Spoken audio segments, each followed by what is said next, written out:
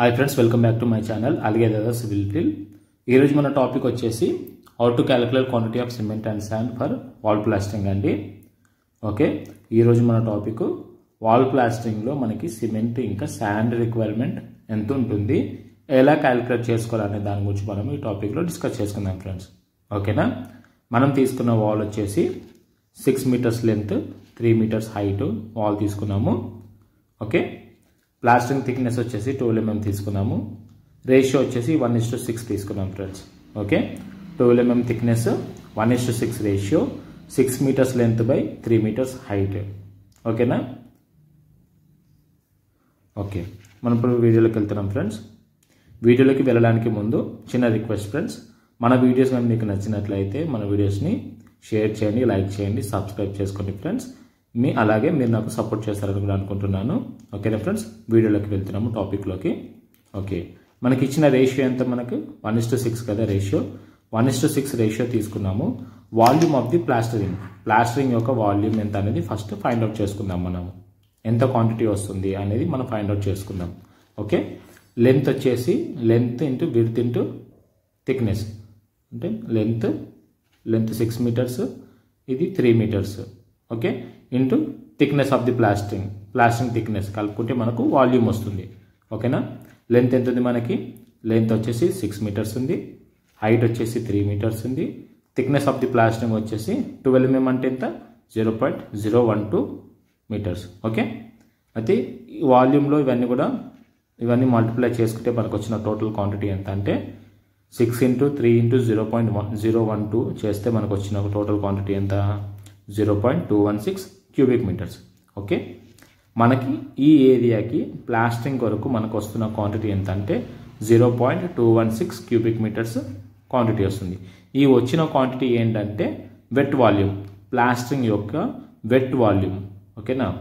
Wet volume of the plastering is equal to zero point two one six cubic metres కానీ మనకు దొరుకుతున్న అవైలబుల్లో ఉన్న materials అన్నీ కూడా డ్రై కండిషన్లో అవైలబుల్ ఉంటాయి. డ్రై కండిషన్లో దొరుకుతాయి కదా? సిమెంట్ డ్రై కండిషన్లో దొరుకుతుంది. శాండ్ సపరేట్గా దొరుకుతుంది. ఓకే? ఇవన్నీ కూడా సపరేట్ సపరేట్గా దొరుకుతాయి. అయితే మనకి కా ప్లాస్టింగ్కి మోటార్ రెడీ చేసుకోవడానికి మనం ఏం చేయాలి? సిమెంట్ శాండ్ ప్లస్ వాటర్ కలిపినప్పుడు ఆ వాయిడ్స్ అన్ని ఫిల్ అయ్యి ఫిల్ అవ్వడం వల్ల మనకు ఒక పేస్ట్ లాగా వస్తుంది కదా? మోటార్ వస్తుంది కదా? అది మనకు వెట్ కండిషన్లో ఉంటుంది. మనం ఇప్పుడు దాన్ని డ్రై కండిషన్లోకి మార్చుకోవాలి. డ్రై కండిషన్ ఎలా మార్చుకుంటాం మనము? Dry volume is equal to dry condition quantity తీసుకుంటున్నాం ఇప్పుడు మనము. Dry volume is equal to మనకి వన్ క్యూబిక్ మీటర్ క్వాంటిటీకి one point three three cubic metres quantity requirement ఉంటుందన్నమాట. అంటే మనం కాంక్రీట్లో చూసుకున్నాము. కాంక్రీట్లో ఏం చూసుకున్నాం మనము? One point sorry one cubic మీటర్కి one point five four cubic metres quantity వచ్చింది.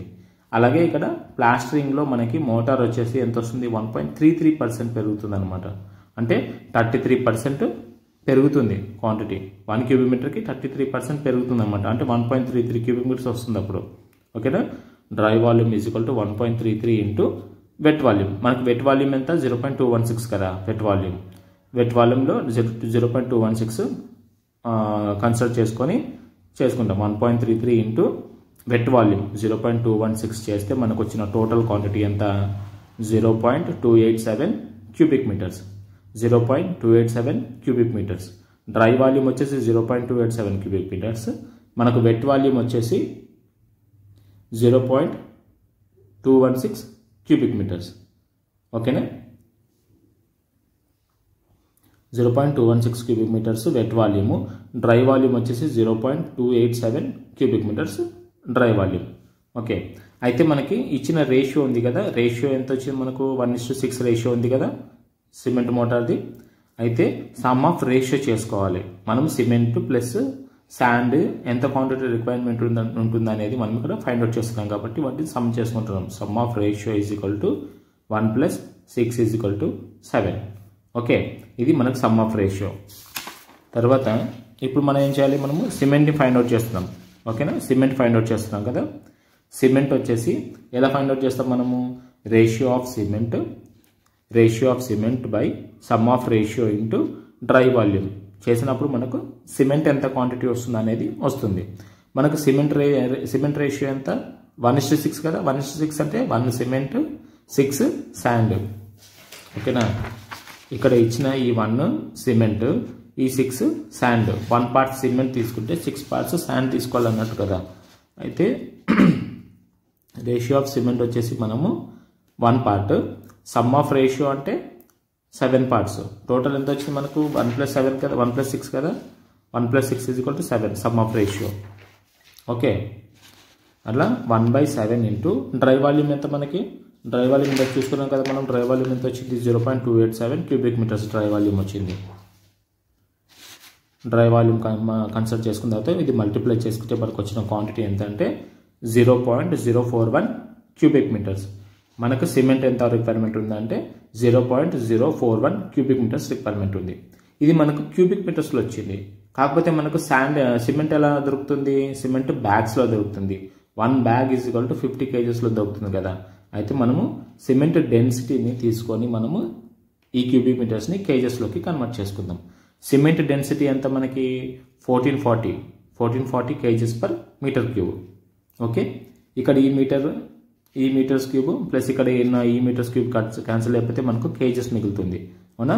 అయితే డెన్సిటీ ఇంటూ సిమెంట్ క్వాంటిటీ చేస్తే మనకు కేజెస్లోకి వస్తుంది.